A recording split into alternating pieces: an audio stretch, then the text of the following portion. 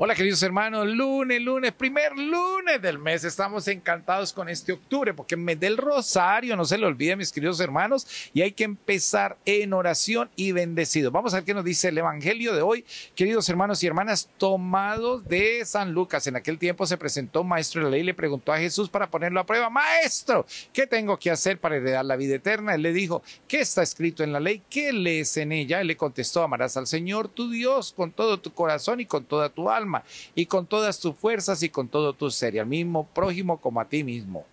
Él le dijo, bien hecho, haz esto y tendrás la vida. Pero ¿cuál vida? Vida llena de felicidad, vida llena de paz, vida llena de sin problemas, vida llena de gran regocijo y gozo en el Señor. Por eso le pregunta a este, ¿qué debo hacer yo para heredar la vida eterna? ¿Qué está escrito en la Biblia? Le dice Jesús, ¿qué lees en ella? Y él contestó, amarás al Señor tu Dios con toda tu alma, con todo tu espíritu, con toda tu mente, con todo, con todo. Hay que meterle a Dios, es con todo. Y también al prójimo, aunque nos caiga mal, aunque veamos nosotros a esa persona que nos cae mal, aunque esté vestido de azul, de rojo, de verde, como sea, pero hay que amarlo, hay que quererlo en el nombre del Señor y más al empezar esta semana, porque estamos bendecidos, encendidos, sanados y en victoria, y que viva la alegría en Cristo Jesús. Usted tiene derecho a ser alegre porque Dios lo ama mucho. Amén.